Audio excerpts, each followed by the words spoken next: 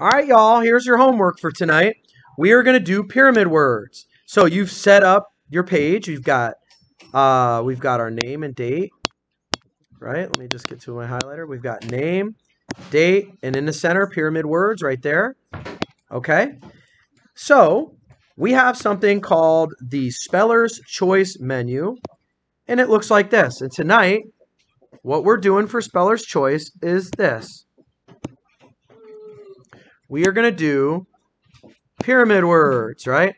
It says spell each of your words adding just one letter at a time to make a pyramid. So I'll do some samples for you. All right. Let's take the green group right here. Let's look at the word chief, right? Here it is, right there, chief. Let's do this in pyramid word format. Now, if you're not a green grouper, don't do this. And I'm going to do this in green anyway. And remember, whatever I do in green, you don't do. All right, so Alante, I'm going to put a number one. And you guys can all try one with your spell, one of your spelling words if you want. But watch me do this one first, and, and I'll turn you loose. I think it's pretty easy. So the word was chief. So first is C, and then C H, and then C H I, and then C H I E, and then C H I E F. And I've built a pyramid with my word. Then I would go, and here's what you can do. Number across like this, guys. Look, take a look. To save room, because I know I know I just from doing this with other groups in the past. Do it like this. Then do, do number two. Just like that. Number across.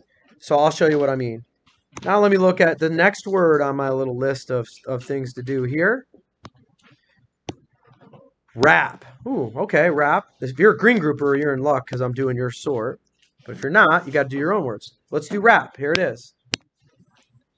W, W R, W R A, W R A P. I've got a nice little pyramid there, don't I? All right, so pyramid words is what I would like you guys to do tonight for all of your words. Should only take you about 10 minutes, if that. I'm going to give you a little bit of time right now in class to do it. If you are unsure, you can go ahead and look this video up tonight. I am going to send you home with Chromebooks tonight. Okay? All right. So, pyramid words off of our Speller's Choice list. I will post the Speller's Choice onto Google Classroom uh, right now. So you'll have this, the video, and your speller's um, choice. Um, you've got your word list, so you're all set to go. Todaro out.